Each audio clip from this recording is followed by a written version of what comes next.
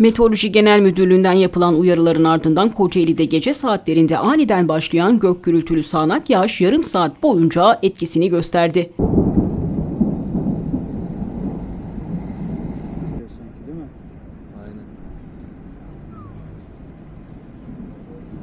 Yağış öncesi çakan şimşeklerse geceyi aydınlattı.